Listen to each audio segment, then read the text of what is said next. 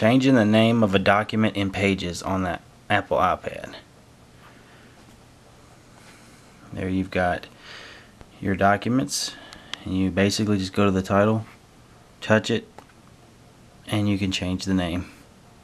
And this one here, just call it something, anything. I just keep on using mine over and over and then email them.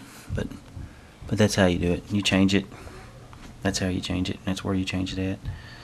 So if you want to change that to something else or say you want to make a different document or just call it something else.